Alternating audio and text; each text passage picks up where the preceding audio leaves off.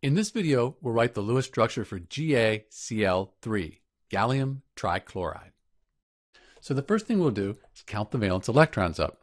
Gallium, that's in group 13, sometimes called 3A. It'll have three valence electrons. Chlorine, group 17, sometimes called 7A. Seven valence electrons, we have three of those chlorine atoms. So 3 plus 21, 24 total valence electrons for the GaCl3 Lewis structure. We'll put the least electronegative element at the center. That's the gallium. So we'll put Ga at the center, and then we'll put three chlorine atoms around it. So we have 24 total valence electrons for this GaCl3, gallium trichloride. We'll put a pair of electrons between the atoms. That'll form the chemical bond. This point we've used six. Remember, we have a total of 24. Let's complete the octets on the chlorine atoms on the outside.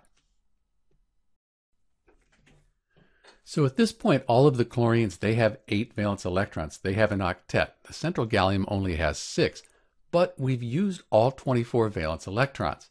So we kind of have a problem here. The gallium at the center doesn't have an octet. That's okay though. Gallium is an exception like aluminum and boron.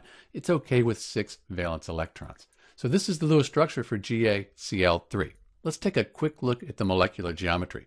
We have our central gallium atom and then we have three atoms attached, and there's no lone pairs here. Let's see what that looks like. So the purple, that represents our central gallium atom. We had one, two, see how they spread out, these chlorine atoms. The third chlorine atom spreads out, and we end up with this trigonal planar molecular geometry. All these elements, they're in a plane. The bond angle between the chlorine atoms would be 120 degrees. Back to our Lewis structure, and there you have it, the Lewis structure for GaCl3, the molecular geometry, and the bond angles. This is Dr. B. Thanks for watching.